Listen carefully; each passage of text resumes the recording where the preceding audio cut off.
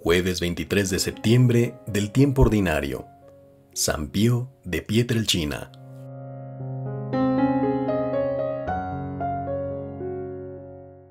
Hoy celebramos a San Pío, que nació el 25 de mayo de 1887 en Pietrelcina, Italia. A los 16 años, entró a la Orden de los Frailes Menores Capuchinos. El 10 de agosto de 1910, recibió la ordenación sacerdotal. El 20 de febrero de 1971, apenas tres años después de su muerte, el Papa Pablo VI dijo de él, Miren qué fama ha tenido. ¿Y esto por qué? ¿Porque era un sabio? ¿Porque tenía grandes medios a su disposición? Definitivamente no. Era un gran hombre porque celebraba la misa con humildad, confesaba desde la mañana hasta la noche y es difícil decirlo, pero era un representante visible de las llagas de nuestro Señor Jesucristo. Era un hombre de oración y de sufrimiento. Escuchemos las lecturas de este día.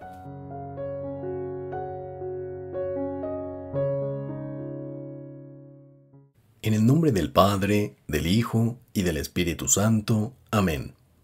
Oremos.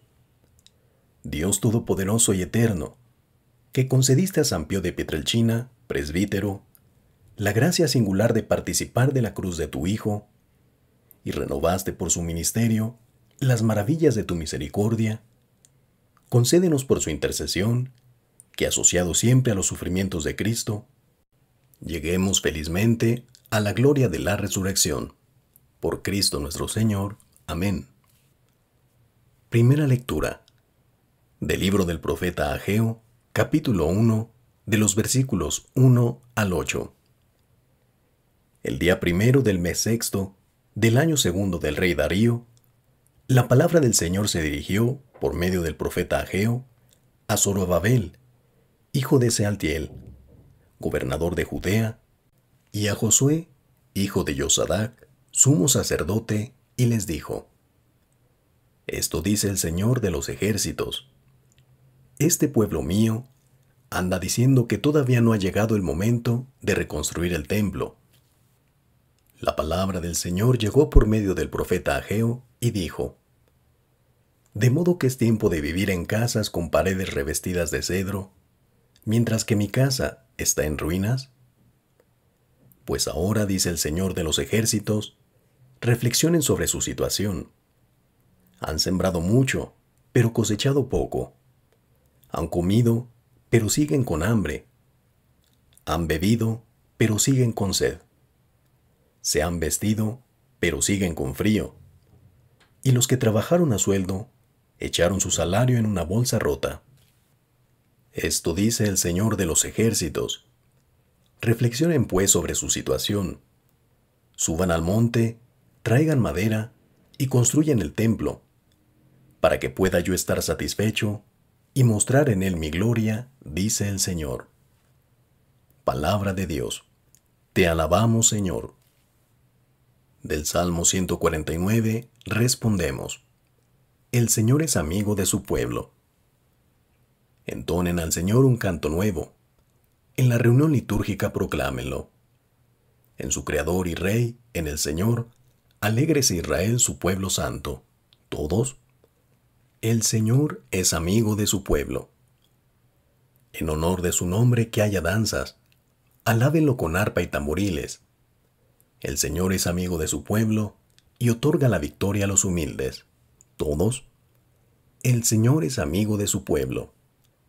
Que se alegren los fieles en el triunfo, que inunde el regocijo sus hogares, que alaben al Señor con sus palabras, pues en esto su pueblo se complace. Todos. El Señor es amigo de su pueblo. Aclamación antes del Evangelio. Yo soy el camino, la verdad y la vida. Nadie va al Padre si no es por mí, dice el Señor. Lectura del Santo Evangelio según San Lucas, capítulo 9, de los versículos 7 al 9. En aquel tiempo, el rey Herodes se enteró de todos los prodigios que Jesús hacía y no sabía a qué atenerse, porque unos decían que Juan había resucitado, otros que había regresado Elías, y otros que había vuelto a la vida uno de los antiguos profetas. Pero Herodes decía, A Juan yo lo mandé decapitar. ¿Quién será pues este del que oigo semejantes cosas? Y tenía curiosidad de ver a Jesús. Palabra del Señor. Gloria a ti, Señor Jesús. Meditación en torno al Evangelio. Hoy el Evangelio de Lucas sigue tan vigente en los actuales misioneros y pastores que, comprometidos arduamente con su trabajo, pueden ser bien vistos, o también ser considerados un peligro. Lo cierto es que la iglesia de Jesús siempre es noticia, no solo por lo bueno que hace, en ocasiones también y lamentablemente por los escándalos que puede dar.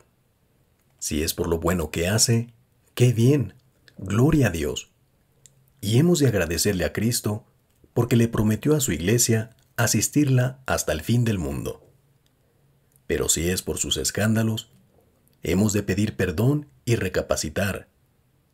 Pidamos pues a Dios que nos asista a todos nosotros, que haga de su iglesia un pueblo santo, y que por la intercesión de San Pío de Pietrelcina nos ayude a caminar hacia la santidad. Soy el Padre Rafa, recibe mis bendiciones y te espero en la próxima entrega.